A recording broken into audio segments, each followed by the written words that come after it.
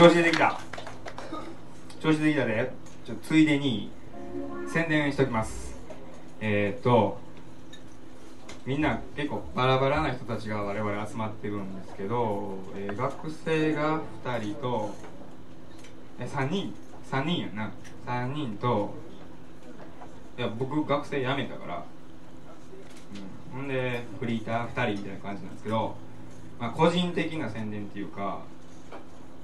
個人的じゃないですけど、えーそんな人格者を気に入っていただいた方もしくはそんなベーシストの沢良君を気に入ってくれた方に会いに来てほしいんで、えー私あの四条不夜町にあるアルバ郷土店っていうところにいますんで、えー今ただいま直輸入フェア。そんな今日は店長も来ていただいてます。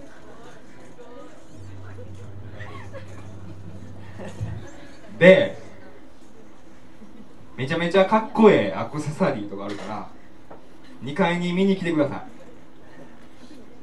ほんで次はうん。とあの曲紹介します。曲紹介してくださえっとねおしゃべりはその辺でした。えっと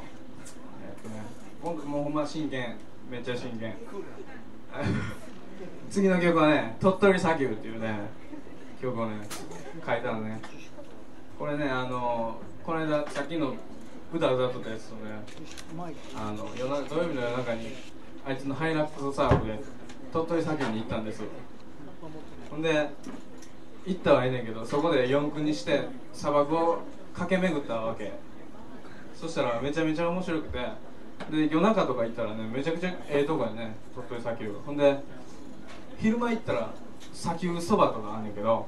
そんなんよりも夜中の鳥取砂丘はめちゃくちゃ良かったからあのダブにしてみました。えっ、とというわけでそれをその鳥取砂丘をイメージ